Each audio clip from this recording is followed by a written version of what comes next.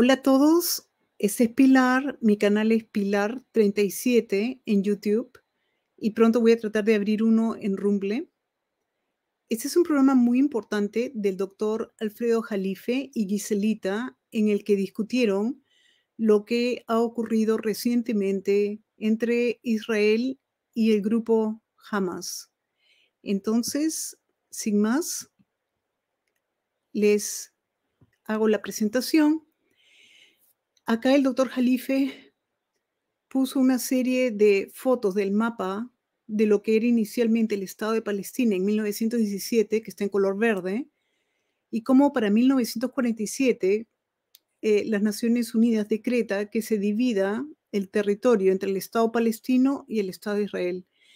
En 1948 se dio una guerra y ahí Israel captura más del territorio palestino en 1967 prácticamente termina con el territorio palestino y actualmente, que es el mapa que está más a la derecha, vemos unos cuantos eh, manchitas verdes y esos son em, lugares donde los palestinos están viviendo.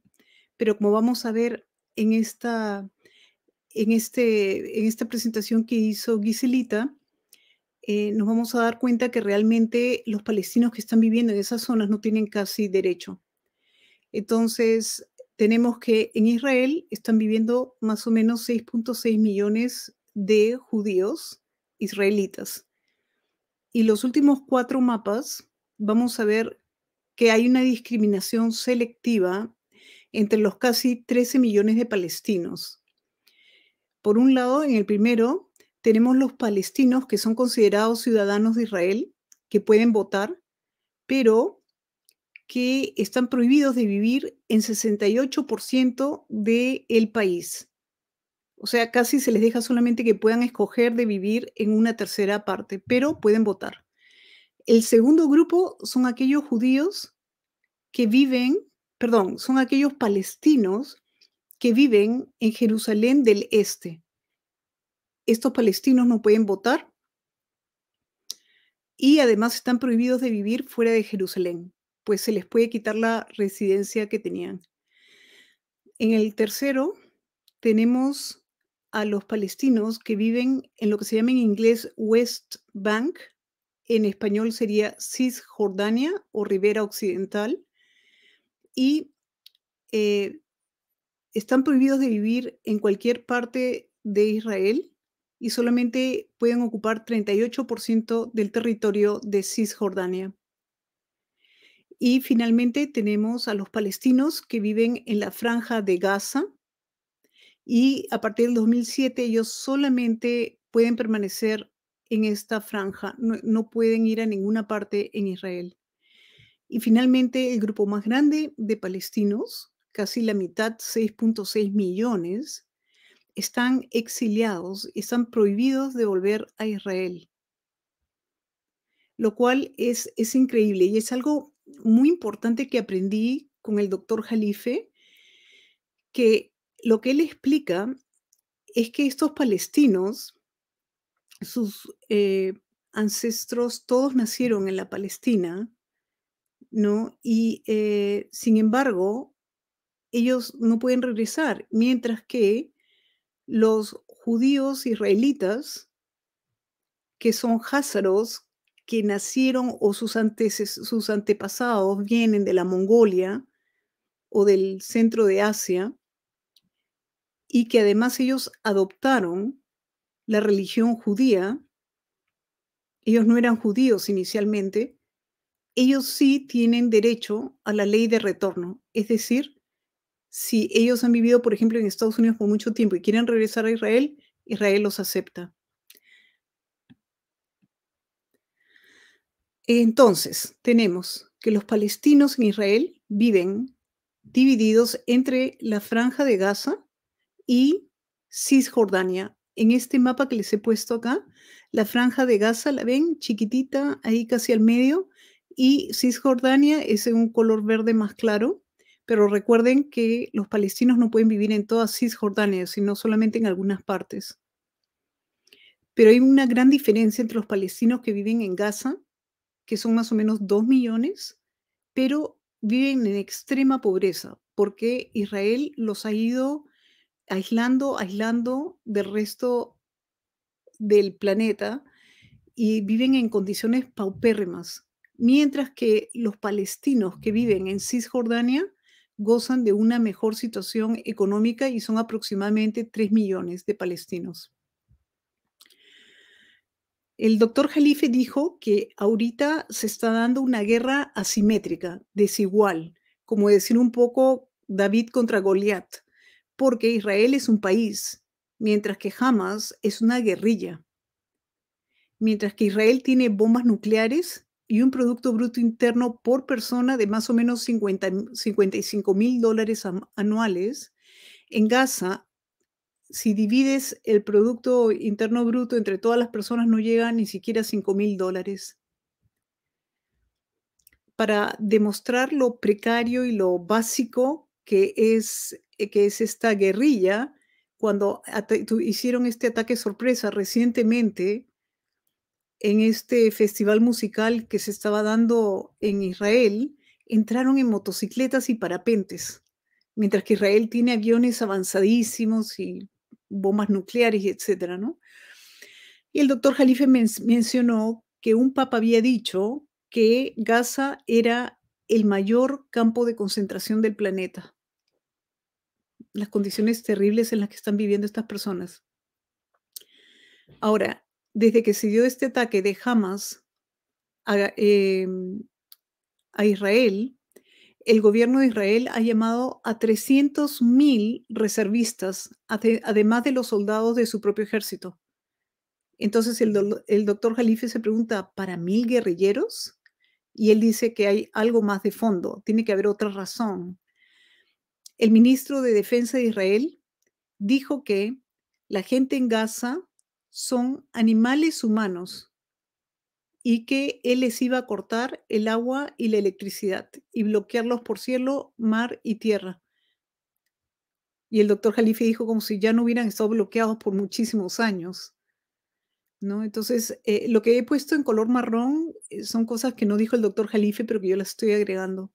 Este mapa tampoco lo puso el doctor Jalife. Esto es para yo poder entender un poco mejor y para ayudarlos a ustedes a entender un poco mejor lo que está pasando. Em, Imagínense, o sea, para el ministro de Defensa de Israel, la gente en Gaza no es gente, son animales humanos.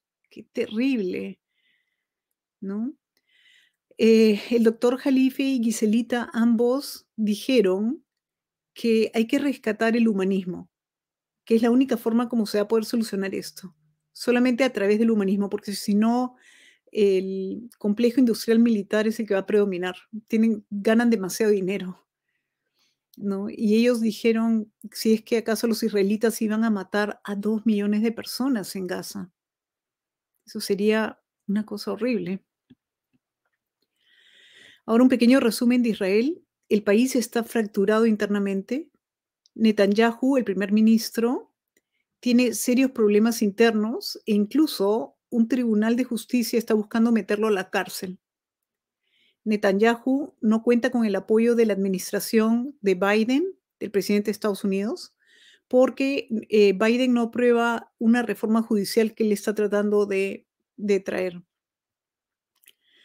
Y el 22 de septiembre del 2023, Netanyahu mostró un mapa en el que borraba completamente a Palestina, completamente.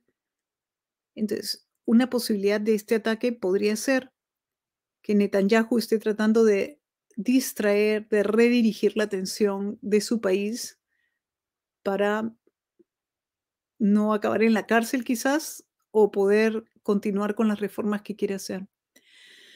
Este Hamas es un grupo guerrillero sunita que el doctor Jalife dijo ha sido manipulado por Gran Bretaña para sus esquemas de balcanización.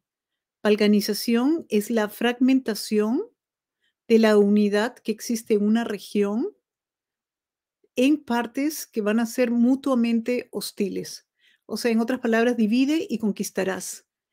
Y cuando vean el video de Gandhi que voy a hacer sobre la comida para todos, como Gandhi dijo que se podía traer comida para todos. Vamos a ver un poco más de las estrategias de los anglosajones y cómo en menos de dos siglos destruyeron completamente a una potencia económica como lo era la India. Es muy, muy importante empezar a hacer conexiones, ¿no? Y el doctor Jalife también mencionó que Ron Paul, que es un renombrado político estadounidense, me dijo que Estados Unidos había apoyado a Hamas para contrarrestar la influencia de Yasser Arafat, que estaba uniendo a los palestinos, ¿no? Y el doctor Jalife dijo que debió de haber dicho que Israel también apoyó a Hamas. Entonces es muy complicado. Por un lado, Hamas, Israel está diciendo que Hamas son unos animales y lo que hicieron fue barbárico, fue horrible. Pero por otro lado, parece que ellos mismos fueron los que apoyaron, incentivaron a este grupo, a este grupo. Y después otro punto importante de la presentación del doctor Jalife con Giselita es que el sistema de espionaje de Israel, llamado el Mossad, es considerado uno de los mejores del mundo. Y entonces, ¿cómo es posible que un grupo chiquitito con herramientas tan primitivas y rústicas en un país que se considera eh, un campo de concentración hayan logrado sorprender de esta forma a los israelitas? Entonces pone un poco en tela de juicio eh, todos los recursos que se destinan, tanto de dinero como de capital humano, a este, a este servicio secreto, ¿no? Por otro lado, el doctor Jalife comentó que Rusia le había dicho a Egipto que jamás estaba planeando algo grande y parece que Egipto se lo comunicó todo esto a Israel. Entonces, como que las cosas empiezan a complicarse más, ya no está todo tan claro como parecía. Y finalmente, parece que muchas de las armas que tenía Hamas vinieron de Ucrania y de Afganistán. Hay dos tesis que propone el doctor Jalife. Una es que esta guerra es una gran guerra regional, no es una guerra local. Y la segunda tesis es que esto ha descarrilado el plan de Biden para el Medio Oriente. Entonces, empecemos con la primera tesis. Nos dice el doctor Jalife que toda la región está en movimiento. El conflicto entre Israel y Hamas no es más que una consecuencia de este conflicto regional en lo que él menciona es el Gran Medio Oriente, que va desde Marruecos, que está en el norte de África, hasta Cachemira, que está en el Himalaya, en Asia, ¿no? Y el, eh, el, Cáucaso, digamos que podría ser parte de Europa, y hasta Somalia, que está en el cuerno de África.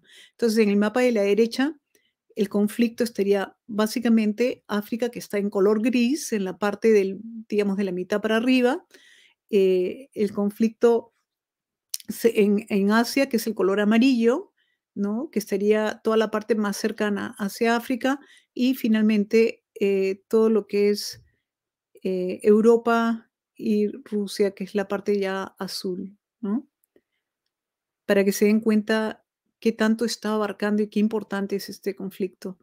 Entonces, el doctor Jalife mencionó, por ejemplo, Zelensky de Ucrania es antipalestino, quería convertir Ucrania en una segunda Israel. Siria se está, está, recuperando poco a poco su poder, pero todavía tiene territorios ocupados. Y mientras tanto, Estados Unidos está llevando todo el petróleo de Siria. Libia sigue en guerra civil. Turquía tiene un conflicto interno con los kurdos. El problema entre Nagorno-Karabaj y Azerbaiyán, en donde Rusia y Armenia, que tenían muy buenas relaciones, ahora están a punto de romper las relaciones diplomáticas. Eh, Israel participó con Azerbaiyán para acabar con Nagorno-Karabaj. Y el doctor Jalife mencionó que si bien los armenios son brillantes, muy, muy inteligentes, sin embargo no tienen ni idea de geopolítica. Entonces, otra vez, eh, recalcarles que es muy, muy importante saber qué está pasando en el mundo, porque no importa qué inteligente sea uno, si uno no tiene idea de lo que los vecinos están haciendo, le pueden en las negociaciones le puede ir muy mal a uno. Eh, después habló del golpe de Estado en Níger. eh, en África, en donde los que perdieron mucho poder fueron Francia, Inglaterra y Estados Unidos, la guerra interna en Sudán, y después comentó que se está tratando de desestabilizar a Irán, pues le dieron el Premio Nobel de la Paz a una disidente iraní, porque están tratando de llevar la agenda esta de transgénero feminista a esta región. Pero dijo que esto no va a ser tan fácil como lo fue con el continente americano. Y yo diría la parte del continente americano de Estados Unidos y Canadá, porque yo creo que de México para abajo la gente se está oponiendo muchísimo a libros que se están tratando de poner en los colegios con material pornográfico y todas estas eh, cosas absurdas que en Estados Unidos y en Canadá hay una reacción, pero yo creo que no ha sido tan fuerte como la que hay de México para abajo. Y la segunda tesis es que em, el descarrilamiento del plan de Biden para el Medio Oriente. Entonces, como vimos, como vio en, el, en la anterior eh, programa que hicieron, China había o ayudó a reconciliar Arabia Saudita con Irán, que eran archienemigos. Entonces, esto fue un golazo diplomático, algo histórico. Entonces, la administración Biden tenía que hacer algo, sobre todo después de su derrota en Afganistán, el ascenso del bloque de los países BRICS y la elección presidencial que se viene ahora en el 2024. ¿Qué fue lo que hizo Estados Unidos? Buscó normalizar las relaciones entre Arabia Saudita e Israel, ofreciéndole a Arabia Saudita ayudarla en su proyecto de nuclearización. Y Arabia Saudita aceptó, Netanyahu está feliz, el gran perdedor acá iba a ser Irán, pero cuando estando ya casi a punto de firmar este acuerdo, ahora ocurrió este conflicto, entre Israel y Hamas. Y entonces eh, Arabia Saudita le ha dicho a Estados Unidos que va a posponer las negociaciones. Em, esta, esta volatilidad en el Medio Oriente va a afectar negativamente a Biden en su campaña por reelección, pues ya está lidiando con los efectos de la guerra en Ucrania y la gente que no está muy contenta dentro de Estados Unidos y su popularidad está muy, pero muy baja. La situación internacional, eh, los judíos son los banqueros en Nueva York y tienen mucha influencia en los países del grupo 7, G7, ¿no? que es un grupo de los países más industrializados eh, hasta hace poco, digamos, porque ahora están cambiando las cosas. Nueva York es la ciudad con más judíos fuera de Israel. Y Estados Unidos entonces ha mandado un portaaviones a Israel. Y Francia, por ejemplo, ha puesto los colores de Israel en la torre Eiffel para que vean la, fuerza que tienen los judíos, ¿no? Los házaros. En Inglaterra y Alemania, sin embargo, se están dando manifestaciones populares fuertes, poderosas, en contra de Israel y a favor de los palestinos. O sea que si bien los gobiernos están apoyando, los gobiernos de estos G7 están apoyando a Israel, el apoyo popular lo están perdiendo. China criticó el apoyo unilateral de Estados Unidos a Israel porque dijo que podía aumentar la tensión en la región. También dijo que esta respuesta equívoca refleja la política fracasada de Estados Unidos en el Medio Oriente. La solución que proponen China, Rusia y Turquía es que deben de crearse dos estados independientes, el Estado de Israel y el Estado de Palestina. Y esta es la misma posición que tiene el gobierno mexicano de la 4T. Y lo que dijo el doctor Jalife es que no habrá paz en el Medio Oriente hasta que no se cree un Estado palestino. Em, otra cosa que mencionaron es que Israel ahora tendría el permiso internacional para destruir completamente la franja de Gaza, los habitantes de la franja de Gaza. Que espero que eso no sea lo que ocurra. Eh, mencionó también que el precio del petróleo subió y parece que va a continuar subiendo, lo cual no es buena noticia para la mayoría de los países en el mundo, pues esto va a traer inflación, más aún, ¿no? Y el doctor Jalife también mencionó que esto de decir que Irán apoyó a Hamas eran noticias falsas, fake news, porque las fuentes eran dudosas. Eh, pero yo ahora que estoy viendo los noticieros acá en Estados Unidos, estoy escuchando de muchos políticos estadounidenses que están pidiendo que hay que destruir a Irán, que haya una guerra contra Irán. Y esto es para concluir eh, dos posibles escenarios según el doctor Jalife. Uno es la destrucción completa de Gaza, la aniquilación de los dos millones de palestinos que viven en la franja de Gaza. Y un segundo escenario que podría de repente venir un levantamiento, intifada, que se llama levantamiento, en Cisjordania, que es el otro asentamiento, digamos, de palestinos dentro de Israel. Y que este levantamiento en Cisjordania podría pasarse a la gente de Jordania, que es un país vecino. Entonces, y otra posibilidad podría ser que Irán entre al, conflicto a través de Hezbollah, que es una organización musulmana que tiene un brazo político y un brazo paramilitar. Y lo que el doctor Jalife dijo es que si bien Irán está lejos geográficamente, tiene, hay estos vasos que se intercomunicadores y que a través de estos otros países podría sentirse su influencia. Y finalmente mis comentarios. Yo les quiero decir que, em, al igual que el doctor Jalife, ¿no? que ambos lados han reaccionado de forma barbárica.